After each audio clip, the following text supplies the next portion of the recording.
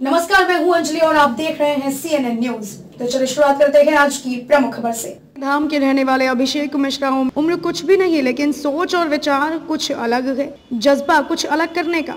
मात्र तीस साल की उम्र में गरीबों के लिए अपने आप को समर्पित करने वाले अभिषेक मिश्रा, गर्मी हो या ठंड, बरसात हो चाहे ओले बरसे, लेकिन हमेशा लोगों की ज़रूरतों को पूरा करने में लगे रहते हैं।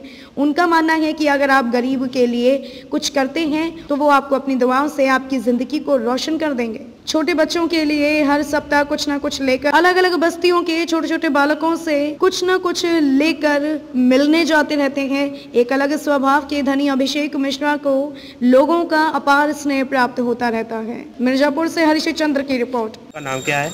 जी मेरा नाम अभिषेक मिश्रा है। अभिषेक ये बताइए कि लगातार आप बारह महीने समाज की सेवा में लगे रहते हैं। जी। क्यों लगे रहते हैं? जी बचपन से शौक था कि मैं बड़ा हूँ और सबका सेवा कर सकूँ।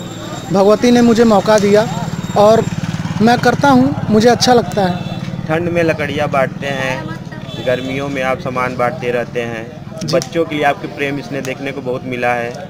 ऐसा क्या है कि आप लगातार गरीबों के लिए अपने को समर्पित कर चुके हैं? जी मुझे जब भी मैं बच्चों को कुछ सामान देता हूँ या कुछ भी देता हूँ तो मुझे अपना बचपन याद आता है और उसी में मुझे खुशी मिलती है।